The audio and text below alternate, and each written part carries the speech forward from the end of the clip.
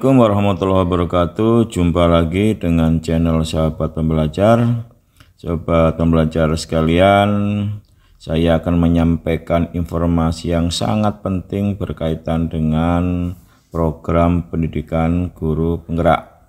Surat ini berasal dari Kementerian Pendidikan Kebudayaan Riset dan Teknologi Direktorat Jenderal Guru dan Tenaga Kependidikan Sebenarnya surat ini ditujukan kepada satu Kepala Dinas Pendidikan Provinsi, dua Kepala Dinas Pendidikan Kabupaten Kota di seluruh Indonesia. Namun dalam era era sekarang ini surat yang ditujukan kepada dinas bukan berarti kita tidak uh, boleh membaca karena zaman sekarang ini surat itu bisa saja bisa dibaca secara terbuka.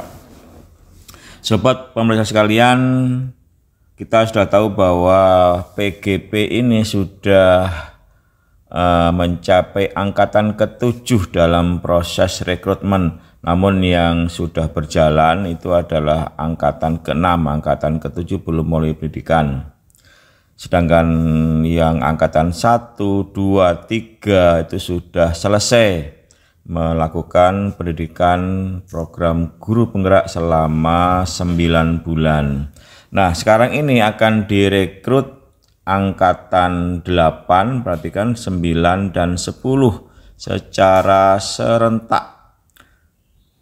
Nah, di samping serentak ini seluruh kabupaten yang ada di Indonesia sekarang juga dipersilahkan untuk mendaftar jadi tidak tidak seperti angkatan-angkatan sebelumnya yang hanya beberapa kabupaten yang diberikan kuota. Nah, sekarang semua kabupaten di seluruh Indonesia sebanyak 500 lebih 514 tepatnya.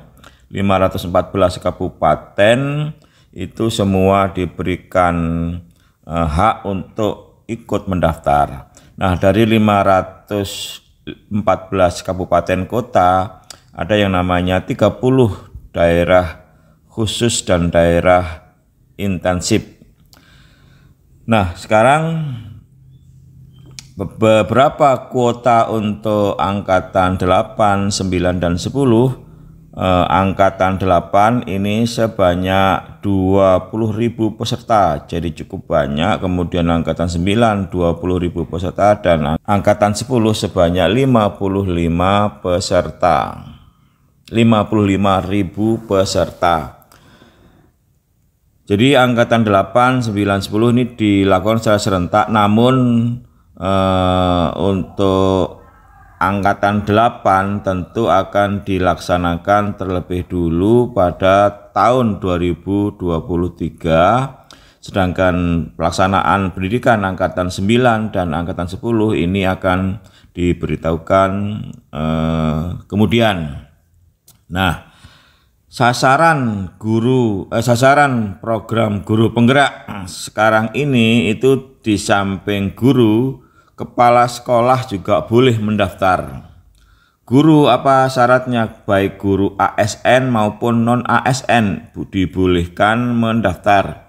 Sekarang eh, sedangkan kepala sekolah ini yang belum memiliki nomor registrasi kepala sekolah atau NRKS. Nah, eh, seperti kita tahu bahwa syarat untuk menjadi kepala sekolah itu syaratnya adalah memiliki NUKS atau N RKS. Namun masih ada beberapa atau mungkin banyak kepala sekolah yang belum memiliki eh, NRKS. Nah, kepala sekolah yang seperti ini sebenarnya tidak boleh menjadi kepala sekolah, namun eh, diberi kesempatan oleh Kemdikbud untuk mengikuti program guru penggerak nanti selanjutnya sertifikat guru penggerak itu dapat difungsi, difungsikan sebagai pengganti NRKS. Sobat pembelajaran sekalian, eh, yang perlu diperhatikan kapan mulai pendaftaran program guru penggerak angkatan 8, 9 dan 10. Ini tanggal penting yaitu mulai tanggal 1 sampai tanggal 30 September 2022. Nah, Nanti Bapak Ibu Sobat Pembelajar kalau sudah mendaftar yang juga perlu diperhatikan bahwa nanti tahap seleksi itu ada dua tahap yaitu tahap satu dan tahap dua. Perhatikan tahap satu ini adalah registrasi, pemberkasan, pengisian IC, pengunggahan RPP, penilaian portofolio dan penilaian IC. Dan nanti kalau sobat pembelajar lolos di tahap satu maka nanti harus maju di tahap dua Eh, seleksinya berupa penilaian simulasi, pengajar, dan wawancara.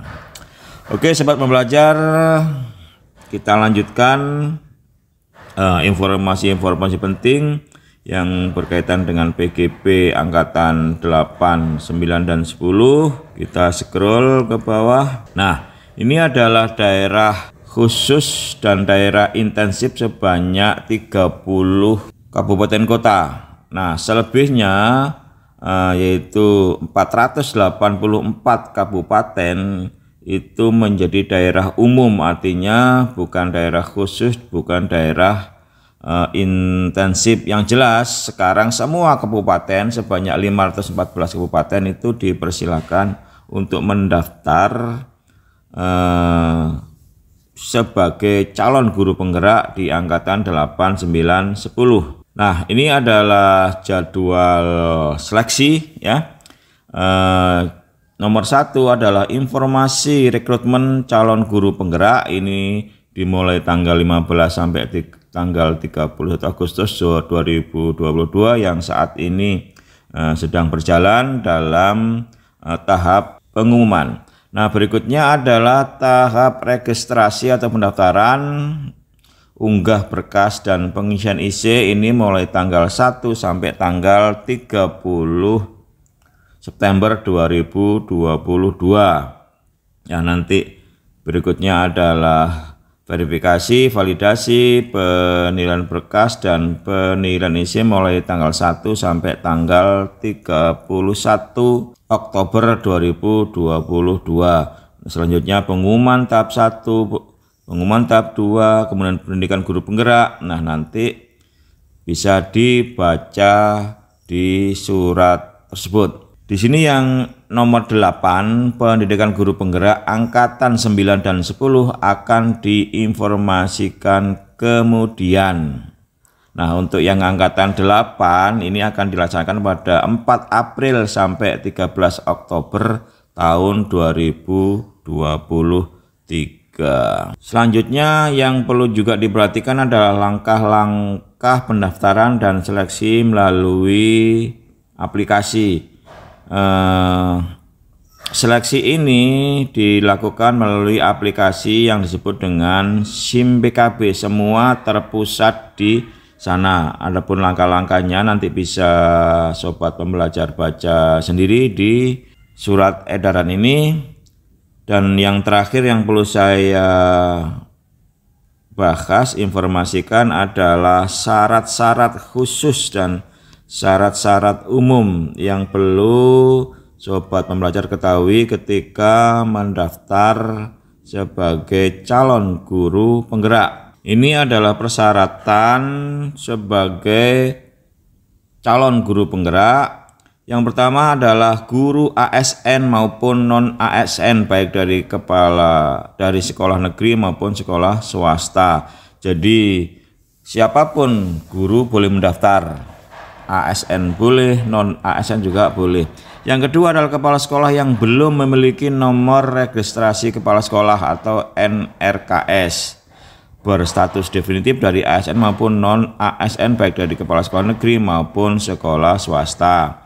Kemudian yang C memiliki akun guru di data pokok pendidikan atau dapodik. Jadi eh, bila guru itu belum memiliki atau belum masuk di dapodik maka eh, tidak bisa mendaftar. Kemudian yang keempat memiliki kualifikasi pendidikan minimal S1 atau D4 dan yang kelima memiliki masa kerja minimal 5 tahun dan yang terakhir yang yang ke F adalah memiliki masa sisa mengajar tidak kurang dari 10 tahun atau dengan kata lain maksimal umurnya adalah 50 tahun saat registrasi. Nah ini yang perlu diperhatikan sebagai syarat-syarat untuk mendaftar sebagai CGP di Angkatan 8, 9, dan 10. Demikian mudah-mudahan bermanfaat. Saya akhiri. Wassalamualaikum warahmatullahi wabarakatuh.